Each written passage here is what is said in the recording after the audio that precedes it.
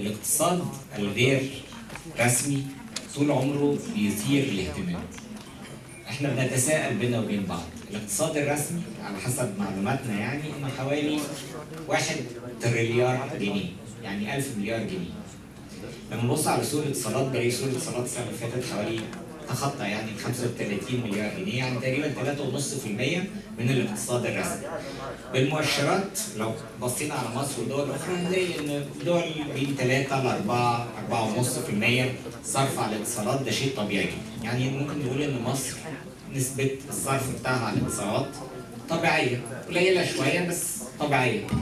إنما لو دخلنا في موضوع الاقتصاد الغير رسمي نكتشف إن مصر صرفها قليل جدا على الاتصالات وهنا الفرصة بتاعت المصريه للاتصالات في إنها تبقى مقدمة خدمات اتصالات متكامله لأن قياسا السوق المصري يستطيع أن يصرف المزيد لو لقى القيمة الجيدة آه، اللي إحنا يعني بننتمي إن إحنا الأدوار أنا بس عايز أوضحها ويعني ده تقصير مني إن أنا اشير إلى البنك الأهلي وبتكلم عنه يعني كشراكة بس إحنا نقدم خدمة ودعم يعني إحنا آه، هنمد شبكة الألياف الضوئيه بتاعتنا ل 121 فرع ونلقى ونتلقى مقابل دوري آه، شهري أو سنوي يعني من السادة البنك الأهلي مقابل هذه الخدمة. قيمة العقد العقد ده لمدة خمس سنين والقيمة بتاعته آه، حوالي 90 مليون جنيه فهي حاجة تعتبر حاجة كويسة جدا بالنسبة للقطاع المصرفي وزي ما قال ال- يعني عايز أوضح حاجة بس علشان هم على لسانهم. يعني ده ده زي ما بيقولوا اوبتمايزيشن للبنك. يعني إيه؟ يعني البنك كان بيصرف فلوس جزء من الفلوس ديت هيبتدي يصرفها دلوقتي مع المصرية للاتصالات علشان يتوسع والانفستمنت اللي بيعملوه ده أو الاستثمار ده يكفيه لسنوات قادمة. فهي خطوة على الطريق الصحيح تفتكروا المشهد بتاع باعة غزل البنات والحاجات دي كلها في مقدمة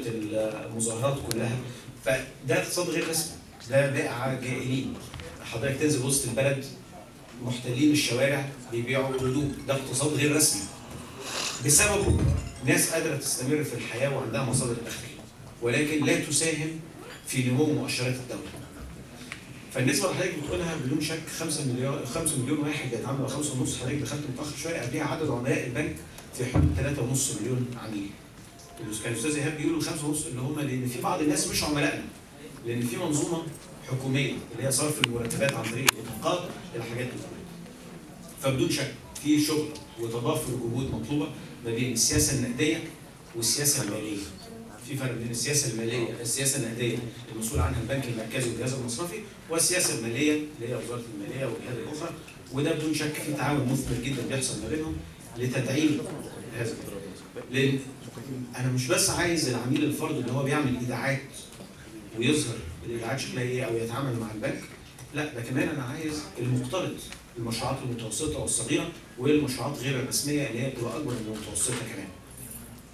حضرتك في ثقافة مصرفية في أوروبا أو الولايات المتحدة الثقافة المصرفية بتبتدي مع الطالب أول ما يدخل الجامعة. بياخد قرض طالبي طلابي ويسدده بعد ما يتخرج. وبيصبح في سبق التعامل لهذا الشخص. معلش أنا عارف إن ده مؤتمر آه، اتصالات وتقنيه معلومات. دخلت شوية بنوك زيادة. ولكن اللي بيحصل إن هذه العلاقة بتبتدي من هذا الوقت. وبيصبح عنده تاريخ ائتماني من ساعة ما بيتخرج من الجامعة.